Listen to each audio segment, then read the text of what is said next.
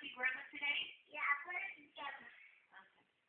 Okay. I love you. Do you love Grandma? Yes. You love Grandma?